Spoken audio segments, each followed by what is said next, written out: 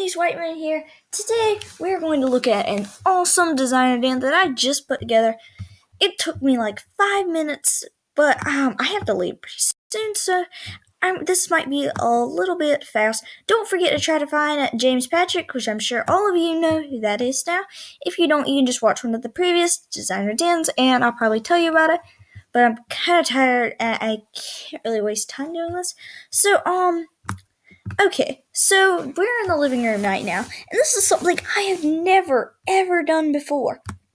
Um, I did. I've done like the fences around this hammock as a bed, but never before as a couch. So I think this is super cool. I did the wavy bookshelves on the sides of the fireplace because it's just a rogue fireplace.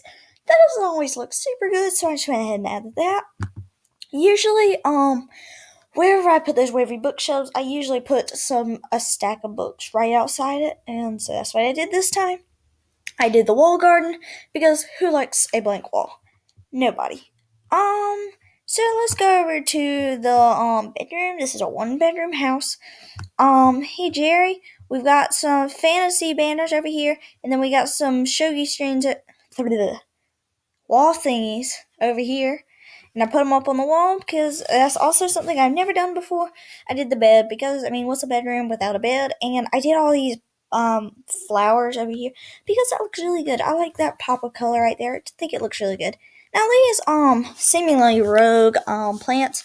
I can never think of anything to do with that corner, so I just went ahead and threw some stuff down there. Um, because like I don't really like there to be that much open blank space.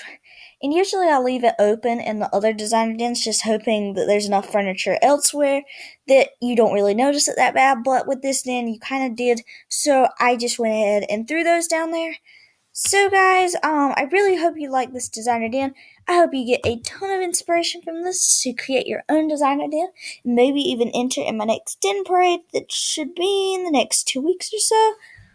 Um, man, guys, if you've seen that um skip fail, that was hilarious. Um, I plan on doing the part two at um not sure when, but as soon as possible, guys. So thanks a ton for watching. Whitemoon out.